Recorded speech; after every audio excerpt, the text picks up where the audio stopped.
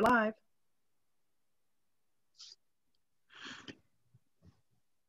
Good afternoon, everyone. Um, my name is Eric White, and I am with the DC Public Libraries, and um, where our Sala branch, uh, the Bethel Duke branch, meets on a monthly basis during our season. And we'd like to welcome everyone to our program today with uh, Dr. Zinga Fraser, who you will be hearing from shortly.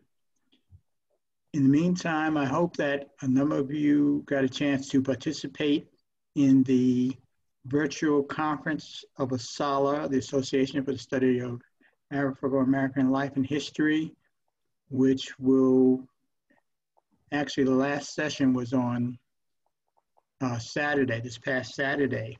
And every Saturday, Thursday, and Saturday during the month of September, there were phenomenal speakers and events that were taking place. And um, um, we are finding out whether or not some of those sessions that have been recorded, and all the sessions were recorded, as this one is being recorded too, um, so that people can go back and possibly listen to those in the future with that said, um, we would like you to think about, after this presentation, reaching out to the Bethel Dukes branch uh, by sending us an email, uh, which we'll put in the chat if you're interested in joining our chapter to hear about future programs and speakers that we intend to host later on this year. Uh, next month, we will have our president, uh, Dr. Ida Jones, to speak um, and in November, we will have um, Marvin Jones, who is a local oral history historian who will be speaking. And uh, in December, we plan to celebrate Carter G. Woodson's birthday. And then we'll go on from there. There's a possibility that we might have another speaker, which we're waiting to hear, and we're keeping our fingers crossed for October, uh, especially during this heated election period that we're in. And uh, so we're looking forward to seeing if we get a response. If not, then we will have a good program planned for you for October. At this point, I'd like to turn the program over to our president, Dr. Ida Jones, who will talk a little bit more about, you know, the conference that we just had in September and some of the things that ASALH is doing and uh, as we move forward and get ready for our presentation today. So thank you, and we look forward to uh, hearing, talking to you soon. Ida? Yes, good afternoon, and thank you, Eric, for that uh, very ardent and passionate call for members. We are seeking to grow our branch, and I would like to welcome all of you who are viewing with us. We are in the virtual space as everyone else is now in this day and age in which we seek to continue to learn and share about African American history and culture. I am the president of the Bethel Dukes branch, and I would just like to extend a warm welcome to you to join us. We won't press for membership. We'd like you to continue to sample and uh, consider joining us. And then we can discuss the nature of membership, which is two tiers, both national and branch local. So it's not just simply a one level of membership. There are two tiers of membership to be considered, quote, a financial member of the association we can get into the weeds of that later. I want to thank Demita Green, our person behind the scenes who's working so feverishly to keep us connected. And I want to also welcome you, the, the guests, to share in a conversation with Dr. Fraser. So thank you very much, and I look forward to our Q&A following. With that, we will go to Janice Sims Woods, who will introduce our speaker. Good afternoon, everyone. Today we have Dr. Zinga A. Fraser, who is director of the Shirley Chisholm Project on Brooklyn Women's Activism. She is also an assistant professor in the Africana Studies and Women's and Gender Studies at Brooklyn College. Dr. Fraser is a foremost expert on Shirley Chisholm and Black congressional women and Black feminism politics. She is currently completing her book, which is titled Sister Insider Sister Outsider, Shirley Chisholm and Barbara Jordan, Black Women's Politics in the Post-Civil Rights Era. She has a forthcoming book under contract with the University of California Press on Shirley Chisholm's intellectual legacy.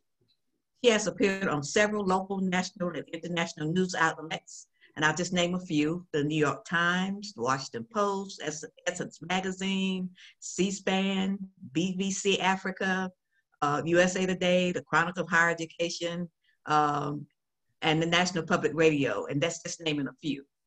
Uh, she has published several works. Her most recent essays is in the Brooklyn Review of Books, The Right to be Elected, 100 Years Since Women's Suffrage that explores Shirley Chisholm's democratic legacy. Dr. Fraser's other works can be found in such magazines as Soul, a critical journal of Black political politics and culture, the Association of Black Women Historians newsletter, Phyllis, a journal of African American women's history, and other publications.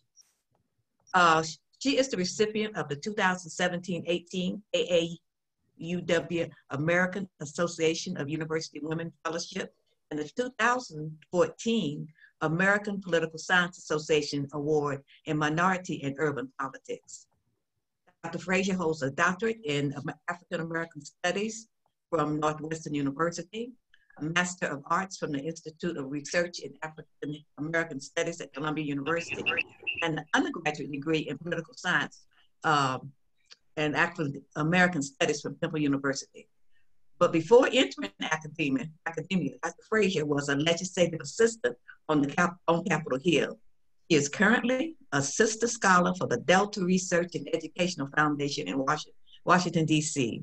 Her life abides by one of Shirley Chisholm's most famous quotes, which says, quote, service is rent we pay for the privilege of living on this earth, end quote. Let us welcome Dr. Fraser. Thank you, everyone. It's indeed my honor and a privilege to come to you. Um, and I'm thinking about all the amazing memories I have of attending ASALH and working um, with uh, Dr. Jones. So I want to say thank you for this uh, invitation to the leadership of the Bethel Dukes Association of ASALH and especially thank you, uh, Ida Jones, who you know encouraged me as a graduate student. Um, and you know, it's indeed my honor and privilege because so much of the work that I do today really stands on the work and the legacy of the members of ASALH and specifically the mentors um, that have really mentored th me throughout my academic um, time have come out of ASALH. And it, in many ways, you know, ASALH is, is that place that you go to. There's a home, there's a space for us to do this work. And until recently, the work that I do on Black women congressional women, even though it's a hot topic now, wasn't seen as a viable subject, was not revered by people in political science and other associations um, and other places. And so I indeed, it is indeed an honor and a privilege to come to you before today. And so I want to, to provide a discussion around Chisholm and this idea of a political rebellion. I'm going to start with that kind of discussion. I have a PowerPoint, so you won't see me visually, but you will indeed hear me. And then I want to have a discussion about the kind of public intellectual work that we're doing currently at the Shirley Chisholm Project. So I'm going to start the presentation.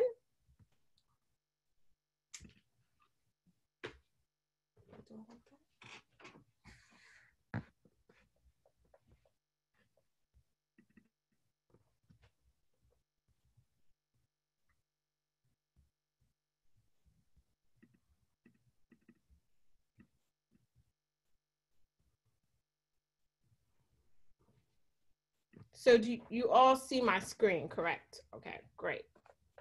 Just give me one second. Oops, doesn't.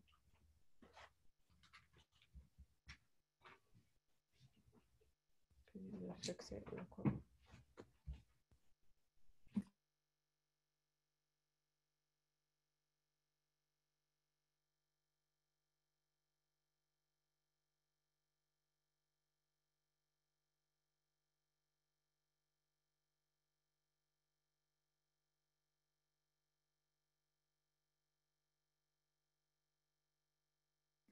Your mic is muted too, Zinga, when you get a moment.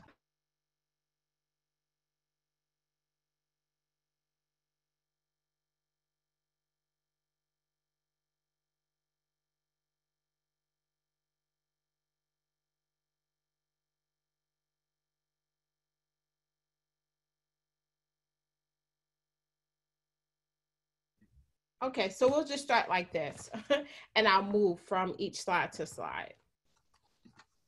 So this year's theme, African Americans in the vote, is pivotal in this political moment and the ongoing struggle for Black people in the United States. The last two presidential elections, there has been a steady mainstream interest in Chisholm because of her many firsts, being the first African American elected to Congress, and the first African American and first woman to run on major party ticket for the US presidency. We heard Chisholm's names in the introduction of Kamala Harris vice presidential acceptance speech when she paid homage to the Black women activists and elected officials who paved the way for her.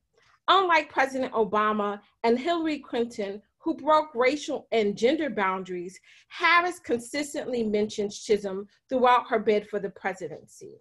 Black women scholars, especially Black women historians, have spent decades restoring Black women's rightful place at the center of American political history. These scholars have fought hard and long to insert Black women into the stories of suffrage and those who attempted to reinvent American democracy. The work and the mentorship of people like Doctors Bettye Collier-Thomas, Doctors Darlene Clark Hine, Rosalyn Terborg-Penn, and Paula Giddings are the foundations where my work on Chisholm stands. Yet just saying Chisholm's name, I would argue, also silences her. While Chisholm's visibility has increased, speaking only her name and not engaging her politics helps to disremember her legacy. In this current and social and political moment, Chisholm and her legacy provides a spotlight in a similar moment of racial reckoning during the late 1960s and early 1970s. When I think of the life and death and consequences for the nation and our world with, the with, these, with this presidential election, I think of how Chisholm emerges in the midst of, a po of political upheavals and urban uprisings in the North and New York City. Without a long contested struggle in New York against gerrymandering and the fight for Black political representation, we would not have a Shirley Chisholm. The fights today against Black voter disenfranchisement are the same battles that occur in the late 1960s in Bedford Stuyvesant against Black districts fighting to elect their own representatives. Since Black since Blacks' enslavement, the vote has and continues to be a contested space. When thinking about my talk today, I could not shake Chisholm's word about rebellion. During a similar time when I see and hear the cries of Breonna Taylor's mother and hear the frustrations of young Black women in my classes, I ask what are the many ways we can learn from Chisholm's ability to rebel? With that said, I want to pose two points for discussion on the legacy of Chisholm's political life. First, Chisholm's political rebellion inside and outside of Congress, and secondly, the framing of Chisholm as a cultural icon. Chisholm connected to those who asked for a rebellion to take place in the halls of Congress. In 1969 at Howard University, she tells students, quote, if the time comes when I must choose between submission and rebellion, I must choose rebellion. I do not believe, I do not believe that the time has come, but the time is near, end quote. 51 years later, dare I say that the time is near. While Chisholm's own identity as a Black woman operates as a physical manifestation of a political rebellion, her strategic decision to rebel against political leadership and power structure is what solidifies her as a political insurgent. While, frame, while the framing of Chisholm as a rebel and a maverick, excuse me, it does not obscure her substantive efforts to transform our American democracy. And this slide that I'm showing you here really is, and these two quotes really provide a way of thinking about how Chisholm thought about institutions and the ways in which we talk about a symbolic representation. And Chisholm, in many ways, was not one who was an advocate for just a kind of symbolism. So, along with her political foremothers, such as Ida B. Wells, Anna Julia Cooper, Ella Baker, and Fannie Lou Hamer, Chisholm's political rebellion attempts to transform the American transform American democracy by inserting a radical humanism and intellectual critique that speaks to the universality of oppression while confronting patriarchy and white supremacy within, out, within and outside governmental structures. What attracted Chisholm to the masses was that she presented herself as an uncompromising advocate for marginalized people. She embodied what it was to be unbought and unbossed. Her political biography of working class immigrants, a former school teacher, and a political maverick connected her to, to, to, to many who felt ignored and invisible by local and national political leadership. It's important to note that while Chisholm is exceptional, she's also a woman of her time, where her own politics is connected to Northern civil rights movements and Pan African struggles that take place in the late 1960s. Chisholm's elections are connected to a political experimentation that engage Black people to not only demand citizenship rights, but to reframe what is democracy. For example, Chisholm went up against political le- leadership from the moment she arrives on Congress to Congress. Her first speech in Congress was against the Vietnam War, and her declaration to refuse to vote for any defense appropriation bills from Nixon that did not completely address and fund public services. One of the most visual acts of her rebellion was her own over her own assignment to the Agricultural Committee. Chisholm stands in the well, and this is something that I ask students to just imagine her standing in the well of the Chamber of Congress protesting um, specifically the leadership around her assignment to agriculture. And she would um, similarly discuss that all people in Congress know is that a tree grows in Brooklyn.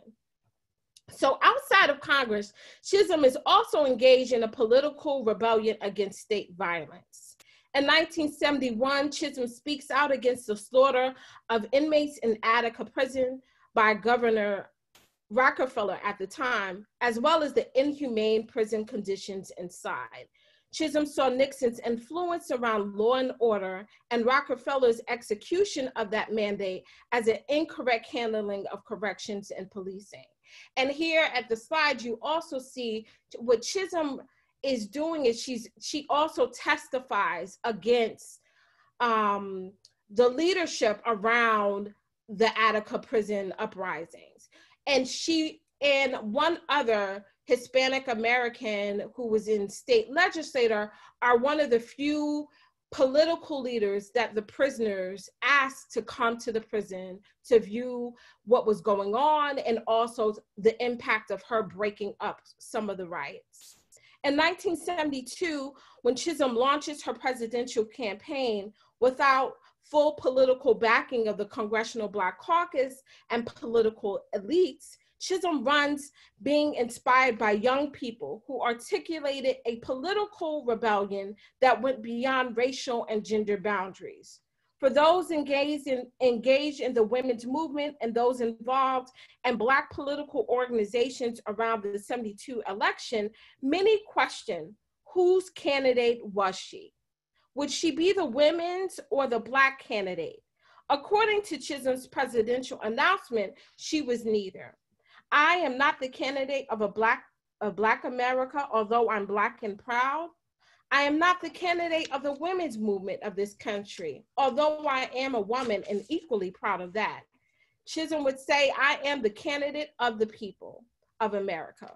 Her campaign tested racial and gender boundaries and its efforts to build a coalition of marginalized voters. This was really strategic. In many ways, she was not only anti against anti-war, pro-choice, pro-labor, anti-racism, anti-racist, she also had a progressive agenda that challenged the Nixon's administration. Strategically, Chisholm knew that in order for them to win against Nixon, a marginalized coalition of people similar to the same coalition that elects Obama in uh, is the coalition that Chisholm attempts to create. But her rebellion against a narrowly defined identity politics identifies how Chisholm's actions were far more advanced than her current political moment. Even for those who opposed Chisholm, they would undeniably recognize her sincerity. We see that in the support in the support of the Black Panther Party, who endorses Shirley Chisholm as their candidate, and as the most consistent and loyal constituency, Black women, who were also really central to her campaign. Chisholm understood how her political campaign aligned to physical rebellion. Reflecting on her campaign visit in Florida, she gives a speech at the courthouse steps that was placed adjacent to a Confederate soldier statue. She writes in her book, The Good Fight, a feeling came over me about the courthouse, a place of fear for Blacks for a hundred years, where white ju justice only existed, end quote. Confirming that she was invading the space, she remembered an old Black man commenting, I never thought, quote, I'd live to see a Black person speaking from the courthouse steps, end quote. Yet Chisholm navigated how her Black female body stood in a place that was a site of terror and grotesque horror for African Americans. Her presence as a candidate for the presidency sought to confront that history of injustice. Despite her bare bones budget and volunteer campaign staff, Chisholm succeeded in energizing a broad constituency of Black, Hispanic, Native American, working class, women, and youth voters. And the 1972 convention in Miami, she came in fourth out of 13 white men who were running at the time. Chisholm's inability to receive the Democratic nomination is usually framed by political pundits as a failure. Nonetheless, Chisholm successfully made it to the main stage of the Democratic convention in Miami Beach as a presidential nominee. And when people say, and I get asked this many, many times, did she think that she could win? And in many ways, she failed at her attempt.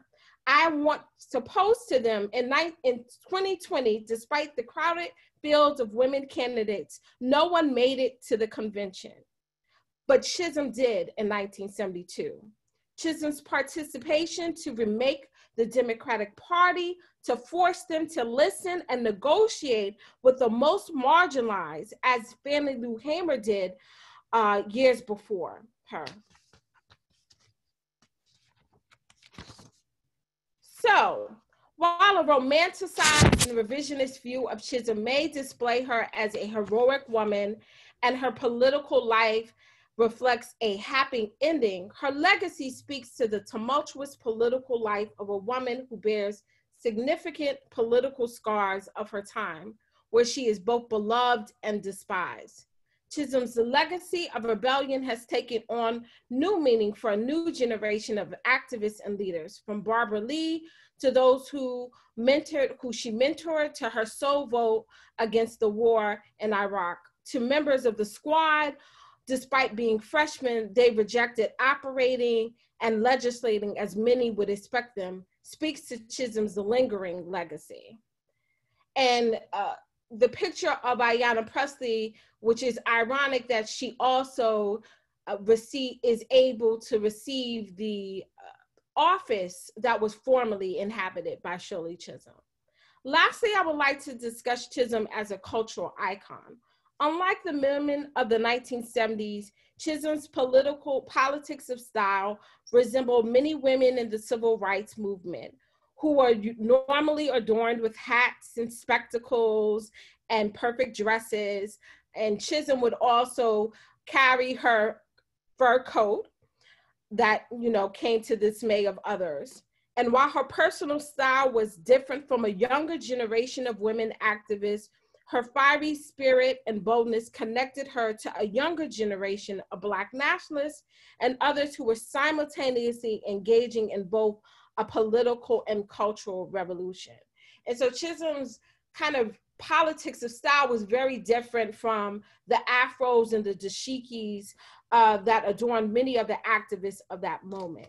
Years later, Chisholm's political legacy is also translated to a younger generation that draws a continuum of the 1970s. She's referenced in late in the late 1980s in songs and art, and this occurs under the backdrop of Reaganomics and its severe impact on Black and Brown communities located in cities like New York City. Chisholm appears for a generation impacted by crack, trickle down economics, and the dismantling infrastructures.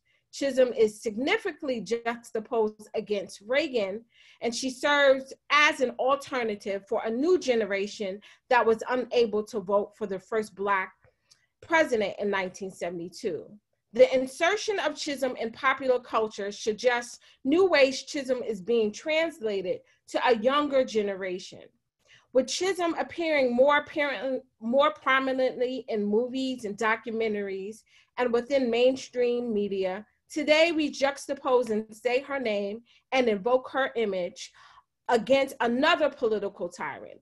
The political tyrant of her day was Nixon, and now we use her as a juxtaposition of a political tyrant known as the current occupant in the White House.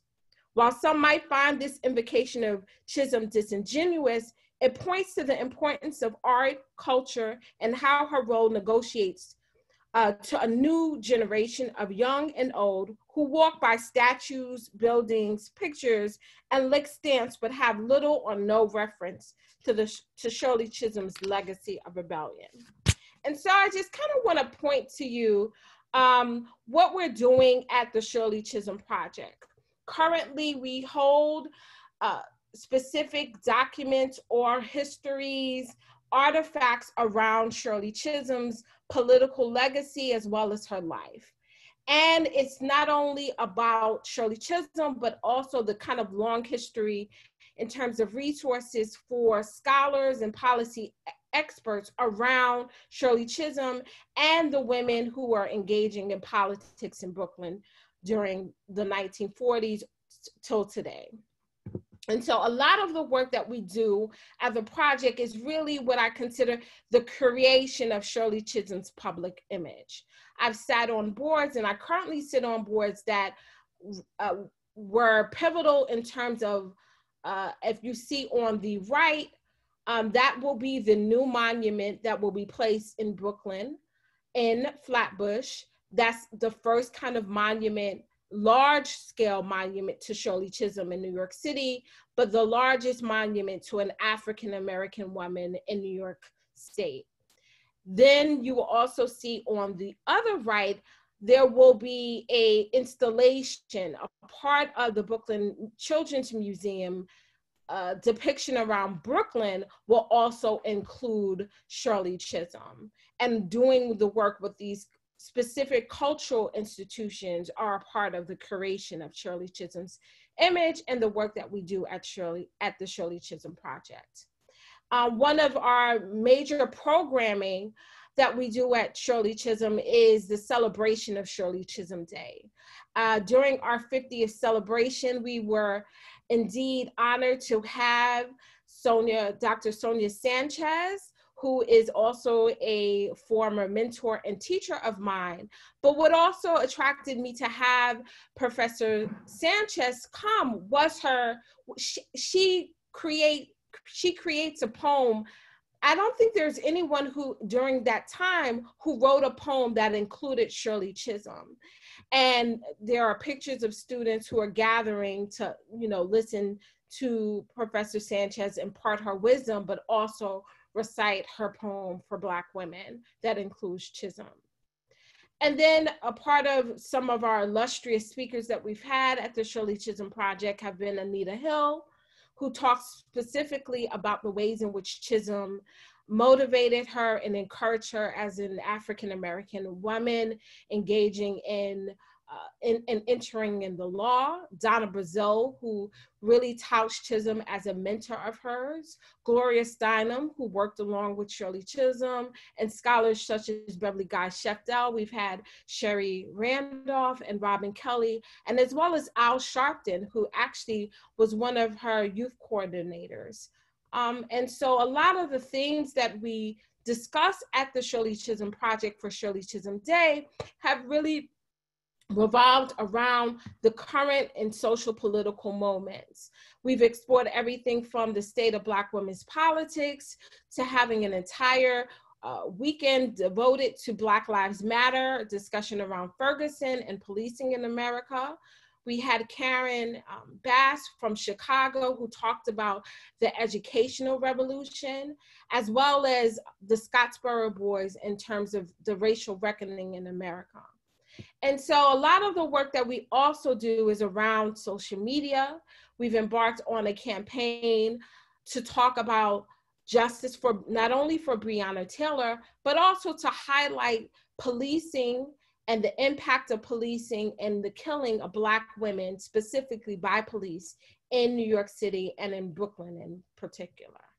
So uh, here is how you can follow the project and gain more information about what we do, as well as following the work and the current um, publications that will ensue uh, soon uh, for next year. And that I think is best that we get back to a discussion, um, but that's just a preview of some of the things that we do at the Shirley Chisholm Project.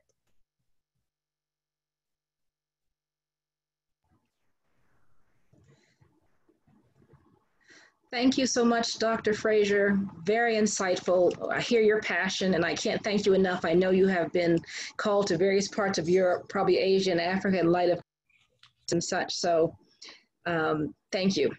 I would like to start our conversation very briefly with a parallel to Kamala Harris and this kind of transcendence of Chisholm and the fact that you bring in this 1969 speaking at Howard and Kamala from Howard. I'm wondering if some of her views, because it is said that Kamala is kind of center leaning slightly right and not as left as she should be. In the political climate that Chisholm was in, in a very kind of similar climate, she sought to galvanize the marginalized people to create a majority for herself. Would you think Kamala will have the same kind of gumption in this very polarizing age we're in to kind of stand there and be something that Chisholm was, an outsider who was willing to say, okay, we can't all be in one part of the pond, but we have to have a sense of end goal. So what is the means might be different, but the end should be the same, a civilized democratic space for us to live. How would you look at that? Slightly so I, w- I would hope that you know, a lot of people are doing a number of references to Kamala, right? And I think I would hope that in many ways that we don't just connect them because of that kind of first. That's what I was saying, because in many ways that just remembers who Chisholm is. And I would really hope that she would align herself to the policies, to the initiatives that Chisholm was. Um, fervently against, right? When she runs in 1972, she has a platform for police brutality. She has a platform that talks about economic deprivation, specifically for marginalized communities.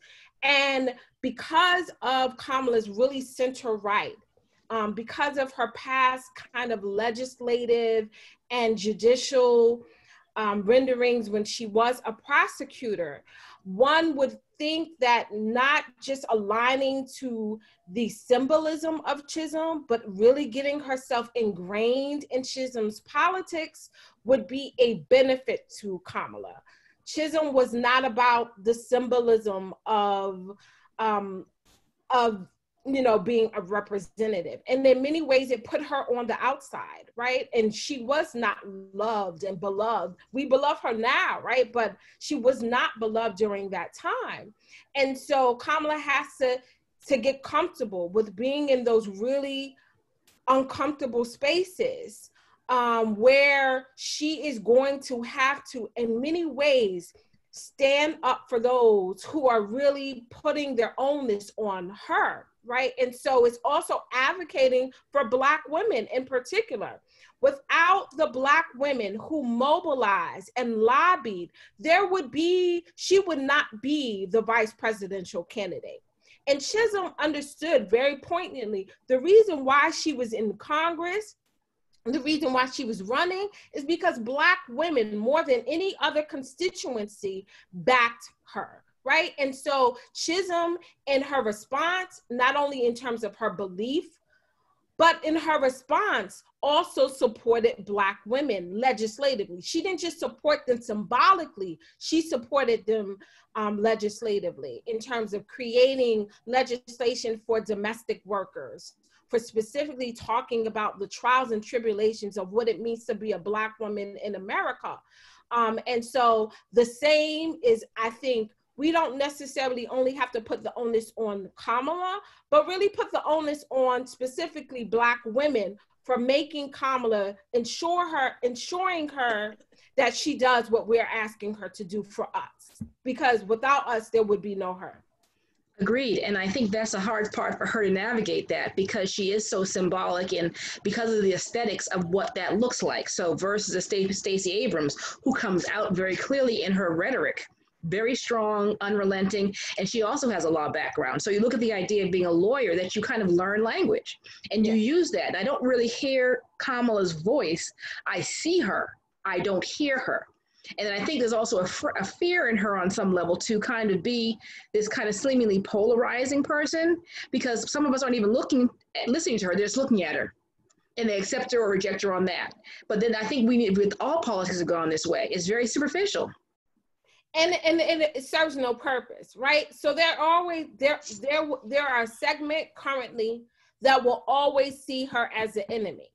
So the question is not to talk to them because you're not going to get them in the first place, right? The question is how do you devise a, a an agenda, right, that speaks immediately to the needs of people and not pander to those who, in many ways, are not going to align themselves with a Black woman who could be president, right? Like, literally could be president. And so I think it just requires us to continue to have a continued engagement with her and not think that this is the end. Like, the end is not her or her being the vice president. The end is us getting what we need for our communities.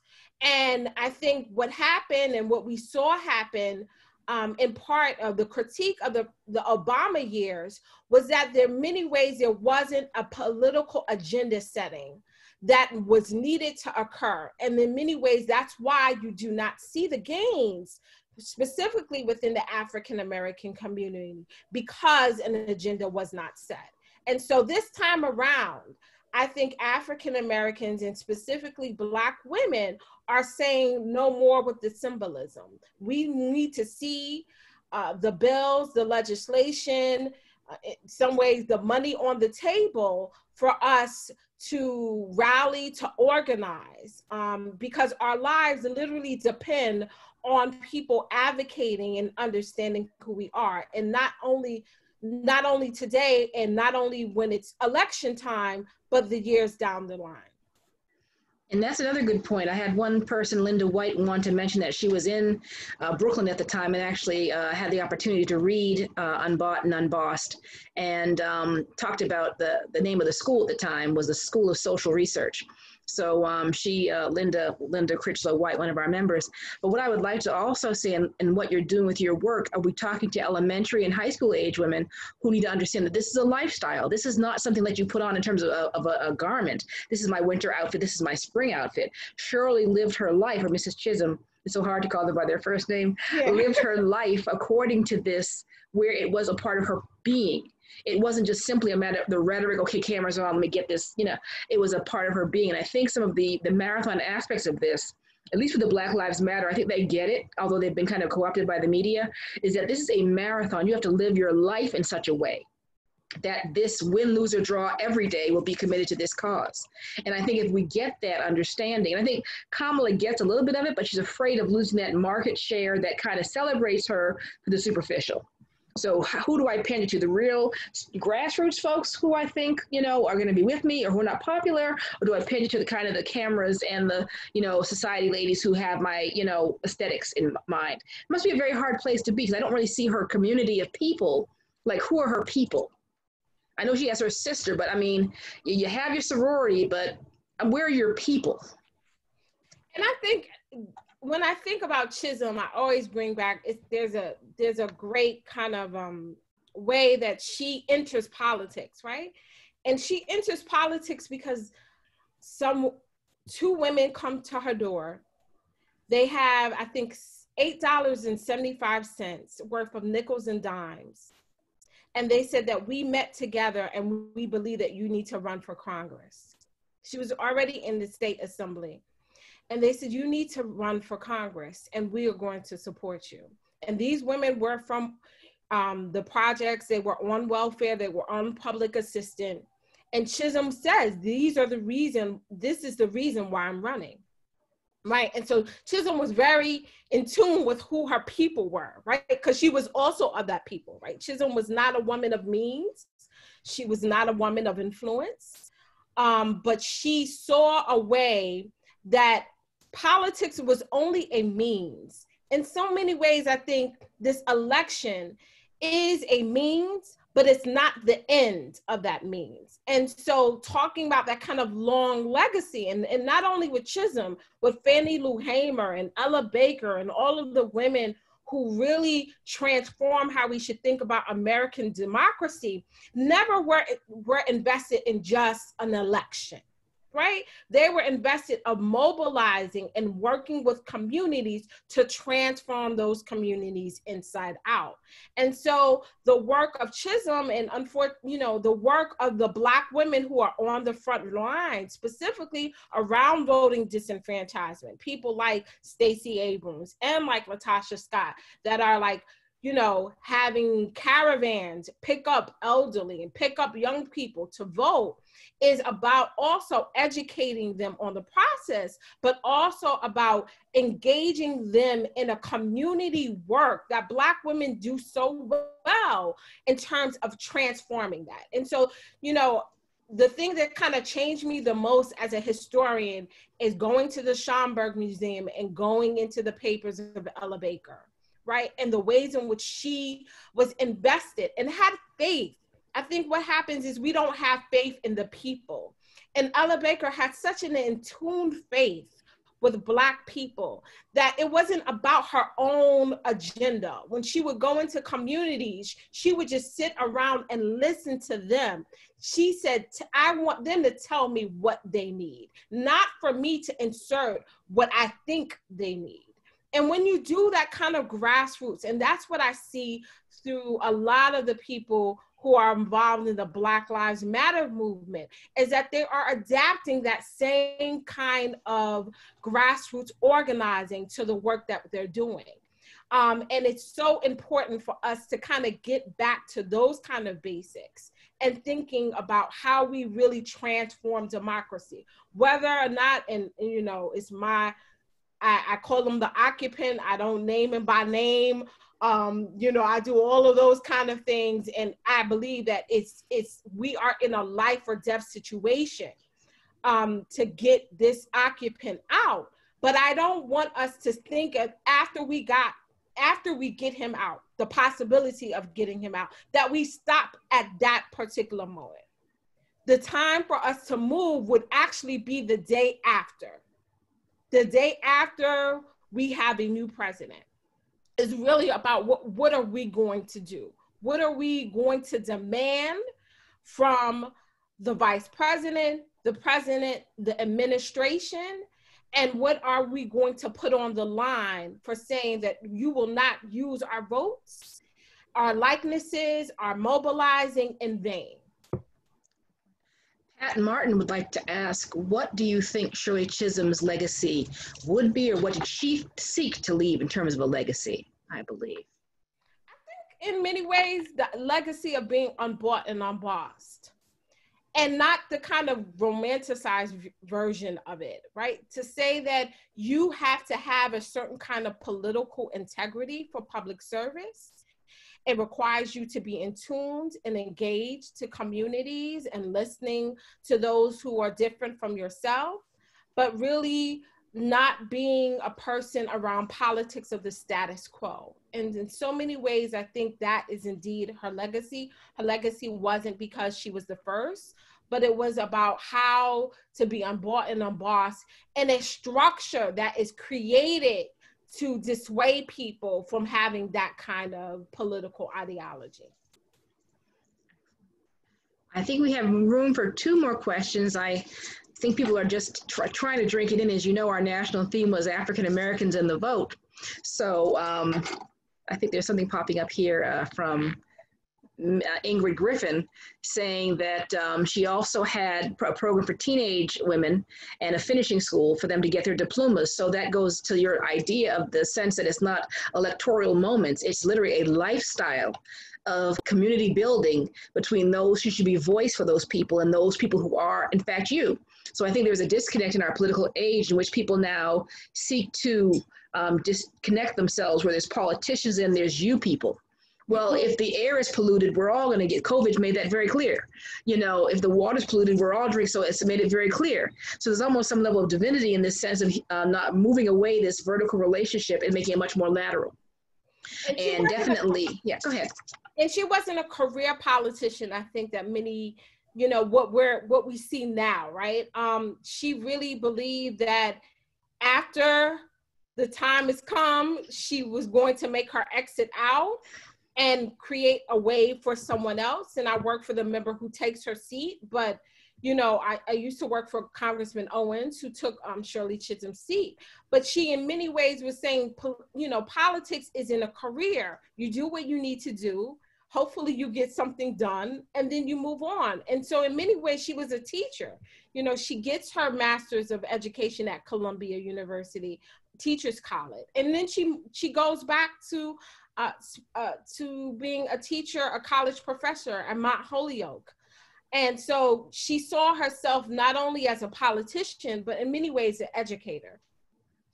Question from demita green. How can one support the shirley chisholm project well, the, the last slide, and I, I will give you uh, those slides. You can uh, support us by going to shirleychisholmproject.com and we you can donate. Um, you can also support us and follow us on social media at Shirley Chisholm Project. Um, yeah, those are the ways in which you can support us.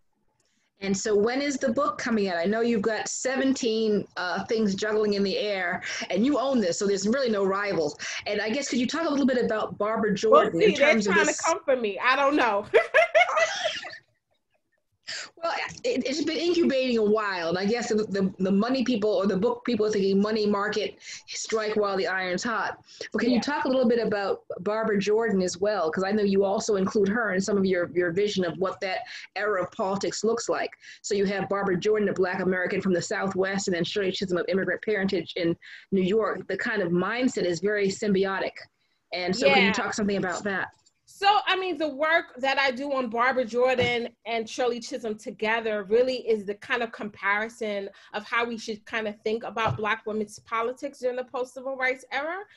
And Jordan is, you know, the daughter of the South. Um, she is well renowned and revered. And when I started doing the work on Chisholm and I visited Texas Southern University and did all of the kind of research, um, as well as uh, spoke spoken to Merline Pitre, who's who's a historian at TSU, and I literally was awestruck by going to the Austin, what is it, airport, and seeing the huge bust of Barbara Jordan. I stopped in my tracks and clutched my pearls, as they would say. I mean, she is my soror, but clutched my pearls because I had never seen such a monument to a Black woman in such a public space as if Barbara Jordan owned Texas, right? Like, it, it, so it, it really took me why in so many i asked the question why was why was jordan so beloved because she is beloved in Texas by whites, blacks, Mexican, all kinds of wide multiracial coalition. And in so many ways, because of being a daughter from Brooklyn, I am from Brooklyn, I did not see that kind of representation of, of Shirley Chisholm. And so that's how at least initial interest in the two. And then the more research that I did on them really spoke to the political moment of their time, but in many ways, like I say, speaks to the current moment that we're in now. So well, the book, the books are coming. One will be out next fall, Yay! Um, and the other one will be soon to be released. Well, we will have to have you back, and I'm sure there'll be a documentary after each book as well. and so, I mean, because that's where we people are very visual now. So, I mean, yeah. I still read, but people do like to to engage in vision. Um, we have no more questions, but we have our thankful to Demita to put up to support the Shirley Chisholm Project.com and at Shirley Chisholm Project um, as well. So, I want to applaud you for your work and to thank you for carving out some time. I saw the husband that was him, wasn't helping out. Yes. With the, thank him. Thank thank your wingman. Uh, it's because of because it all the technical difficulties he's helped out. I appreciate thank, thank him as well as mommy. I'm sure she's in the other two rooms. But thank you so much, Dr. Fraser, for your scholarship and your commitment to live the life that you write about and to have the time to um, come to earth amongst us here in Washington, D.C. So I want to thank Dr. Zinga for, and you're our first recorded session too as well. So we're trying to get our social media platform up and running as well. I want to thank you all for attending. And I want to thank um, one other question here. I think South Carolina was not beloved because oh Shirley Chisholm was not beloved because she was too forthright, clear, and totally herself. And as a daughter of Barbados, that's how we roll. We're telling you straight, no chaser. So New York was the best place for her to be. But I want to thank all of our guests. I want to thank you once again, Dr. Fraser, for your scholarship and wish you all the best, as thank well as your warm statements about the association. I know you are definitely a booster. So I want to just say, join us again on October 25th. We will have our next presentation, and you're getting great accolades in the chat. And I want to thank uh, Demita Green and Eric White, as well as Janet Sims Wood for their participation. So thank you so much, and have a great academic year. And I look forward to that book in thank fall 2021. So thank you so much for everything. Good night. Thank All you. Right, good night. Bye bye. Bye bye. We can all leave.